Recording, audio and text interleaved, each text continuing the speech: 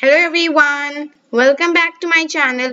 In today's video, I'm going to be teaching you Biology Class 6 ICSC Board Chapter number 1 The Leaf.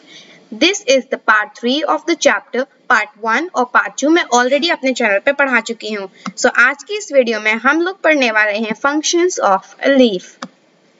Leaves perform many functions such as manufacturing food, gaseous exchange and transpiration.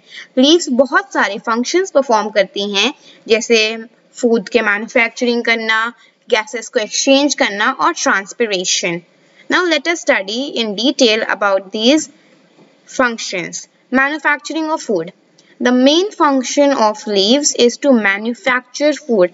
Leaves का जो main function होता है, वो होता है food को manufacture करना, यानी फ़ूड को बनाना।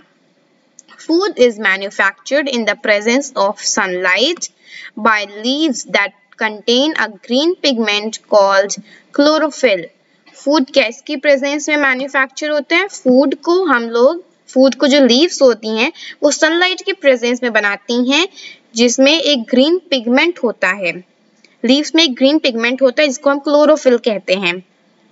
The process by which green leaves prepare their own food by using carbon dioxide and water in the presence of sunlight and chlorophyll is called photosynthesis ऐसी प्रोसेस जिसमें ग्रीन लीव्स अपना food बनाती हैं using carbon dioxide जो कि एक gas है, और वाटर किसकी प्रेजेंस में? सनलाइट और क्लोरोफिल की प्रेजेंस में। तो उसको हम फोटोसिंथेसिस कहते हैं। उस प्रोसेस को हम फोटोसिंथेसिस कहते हैं। The leaves produce glucose and oxygen from water and carbon dioxide during photosynthesis so उनका फ़ूड क्या होता है? लीव्स क्या प्रोड्यूस करती हैं? आफ्टर फोटोसिंथेसिस वो क्या प्रोड्यूस करती हैं? ग्लूकोज और oxygen from the water and carbon dioxide carbon dioxide plus water यहाँ हमारी बुक में एक दिया गया है carbon dioxide plus water in the presence of यहाँ पे सनलाइट और क्लोरोफिल है तो इसका मतलब in the presence of sunlight and chlorophyll जिसका रिज़ल्ट होता है ग्लूकोज प्लस ऑक्सीजन ओके तो यहाँ पे फोटोसिंथेसिस की आपकी बुक में एक दिया गया है कि यहाँ पे कैसे फोटोसिंथेसिस होता है तो एक डायग्राम हम लोग पहले देख लेते हैं।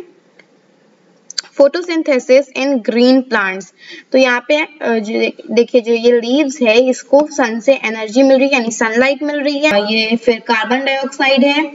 कार्बन डाइऑक्साइड एंटर कर रही है वाटर एंटर कर रहा है, और ये क्या प्रोड्यूस कर रहा है? ऑक्सीजन बाहर निकल रही है, जो कि उसका प्रोडक्ट है फोटोसिंथेसिस का। Now let us study about the gaseous exchange. Many minute pores called stomata are present on the lower surface of a leaf. During daytime, plants take in carbon dioxide for photosynthesis and release the excess oxygen through the stomata. बहुत सारे minute pores minute मतलब छोटे बहुत small small जो pores होते हैं जिनको हम स्टोमेटा कहते हैं वो लीफ के लोअर सरफेस पे प्रेजेंट होते हैं दोनों तरफ़ होते हैं, लेकिन जो नीचे वाला हिस्सा होता है, उसमें ज़्यादा प्रेजेंट होते हैं। ड्यूरिंग डे टाइम प्लांट्स जब दिन का समय होता है, यानी जब सन होता है तो जो प्लांट्स होते हैं, वो कार्बन डाइऑक्साइड को फोटोसिंथेसिस के लिए अंदर अपने अंदर लेते हैं and release the excess oxygen जो उनके पास ऑक्सीजन होती है, जो उन्होंने फोटोसिंथेसिस के वजह से जो उनके पास ऑक्सीजन होती है, वो उसको रिलीज़ कर देते हैं और कार्बन डाइऑक्साइड को ले लेते हैं थ्रू द स्टोमेटा तो जो माइन्यूट पोर्स होते हैं, जिनको हम स्टोमेटा कहते हैं, वो इसके थ्रू ही गैस को एक्सचेंज करते हैं. At night plants take in oxygen and release the carbon dioxide into the air through the stomata अब नाइट में क्या होता है, जो प्लांट्स होते हैं, वो ऑक्सीजन को लेते हैं और कार्बन डाइऑक्साइड को रिलीज़ करते हैं एयर में थ्रू द स्टोमेटा एकदम जो डे में हुआ होता है, उसी का ऑपोजिट होता है. डे में प्लांट्स कार्बन डाइऑक्साइड लेते हैं और ऑक्सीजन रिलीज़ करते हैं और नाइट में प्लांट्स ऑक्सीजन लेते हैं। और कार्बन डाइऑक्साइड को रिलीज़ करते हैं थ्रू द स्टोमेटा यहाँ पे हमें स्टोमेटा की डायग्राम भी दिया गया तो ये हमारे जो माइन्यूट पोर्स हैं, इसको हम स्टोमेटा कहते हैं और ये हमारे गार्ड सेल्स हैं।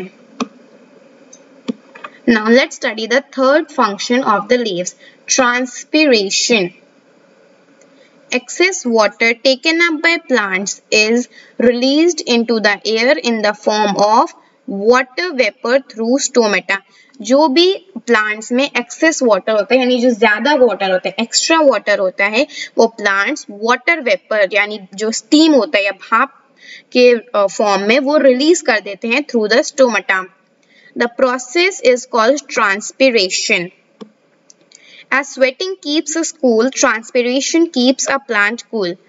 तो जैसे हम लोगों को स्वेट होता है, यानी हम लोग पसीना आता है तो क्या होता है? हमें ठंडा लगता है, वैसे ही जो ट्रांसपीरेशन होती है, वो प्लांट्स को ठंडा रखने के लिए होती है। सो आई होप आप लोगों को ये समझ में आ गया होगा and if you like today's video then please like and share my video with your friends and also don't forget to subscribe my channel thanks for watching